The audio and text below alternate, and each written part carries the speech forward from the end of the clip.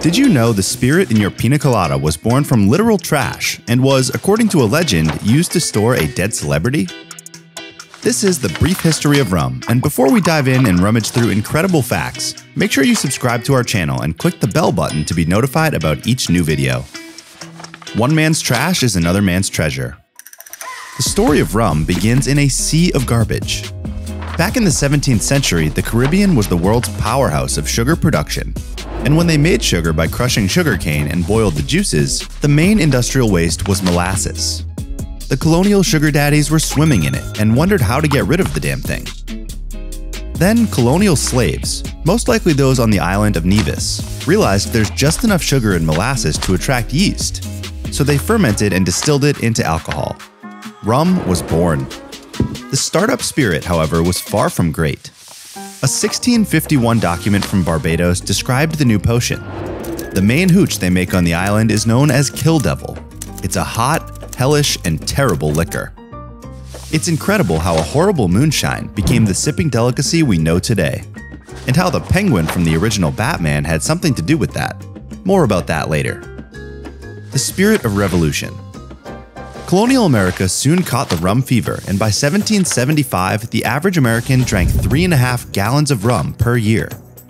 America's landlord, George III of the United Kingdom, therefore decided to tax sugar and consequently rum, in addition to tea. Now, the Yankees were already less than pleased with the king, and showering them with taxes when they had no representation in the British Parliament was just another insult to injury. The sugar tax was one of the things that galvanized the colony into rebellion that led to the Revolutionary War, America's independence, and barbecue every 4th of July. And that was just the first time that rum caused an uprising. On the other side of the globe, about 40 years later, and still under George III, the convict colony of Australia was known for drunkenness and debauchery. When Governor William Bligh, this jolly old chap, outlawed the use of rum as currency, 400 soldiers with bayonets stormed the government, arrested Bligh, and ruled the colony for two full years. The lesson here? Don't mess with people's rum.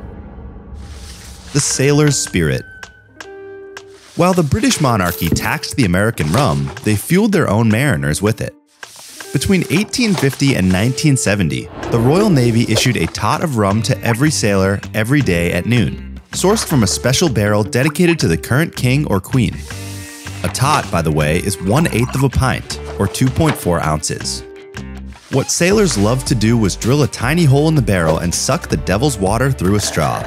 Many died of alcohol poisoning, so please don't try that at home.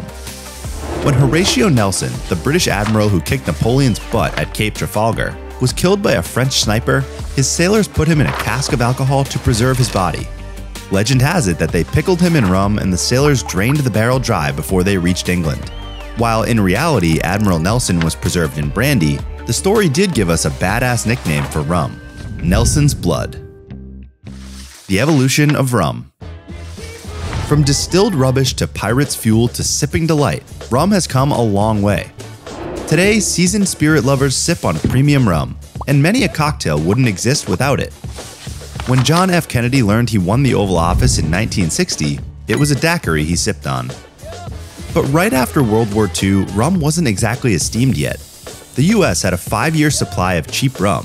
Puerto Rico was stuck with 20 million gallons of it, while people preferred to spend their money on stockings and jeans something had to be done to bring the rumble back. In 1948, Puerto Rico passed a law that said rum had to be aged at least three years, while ad men launched an expensive campaign telling America to try aged rum, and Uncle Sam even enlisted Burgess Meredith, the penguin himself, to star in a film called A Glassful of History, where the story of rum was presented. The government went all in to put rum back in people's glasses and get those tax dollars. Mai Tais and tiki bars soon followed, and the American palate wanted flavors and quality. When craft distilleries started popping up to cater to the demand in the following decades, old rum brands upped their game as well. They combed through their warehouses and used their best barrels for premium and limited releases. Names such as Ron Zacapa, Dictador, and Ron Botran are now shorthand for class and quality. You wouldn't put a dead sailor in those, would you? Turns out the spirit we put in mojitos has a wild history, and it's pretty remarkable. Now, find yourself a quiet, summery place, and celebrate life with a glass of rum.